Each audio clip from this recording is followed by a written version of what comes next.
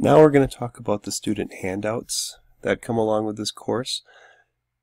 Here is what I give my students. It's the Tinkercad cheat sheet. You might have saw before. We have copy, paste, duplicate, trash, undo, redo. And on this side, it's got little success quotes. You know, it starts out difficult, but practice, and this will become easy.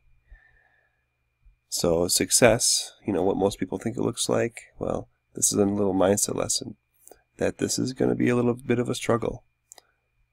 This bottom cartoon really hits it where what you don't see is all the work that goes into the cool stuff that people are doing or, or accomplishing. And right alongside it is the other controls over here. Second page, it has the tools from the right side of the screen.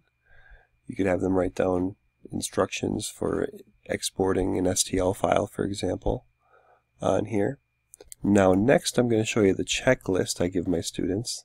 After they've learned and they've tried a few projects, I assign this checklist for them to go through to make sure they've got the specific practice they need and they have extra reminders that they are more successful in the long run when they do this practice.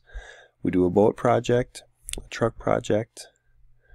They need to make the truck tires, rocket project, cat project, and then I have them fill in three of their own projects that they that they've worked on. And I have them do this because if they expect their first project to be printed out, they rarely move on to a second or a third or a fourth.